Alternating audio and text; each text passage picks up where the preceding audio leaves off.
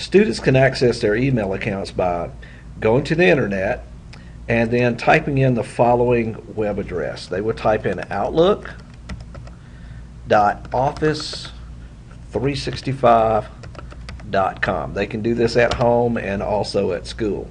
This will take them to a login page.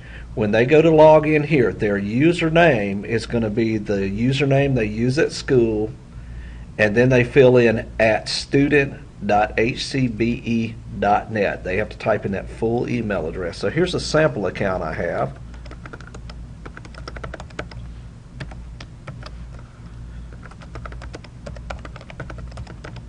Then for their password, they're going to use the password they use at school.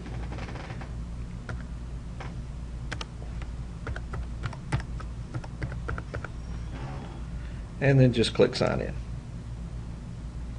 If it's their first time accessing student email and logging in this way, they may be asked to select their time zone and also their language settings.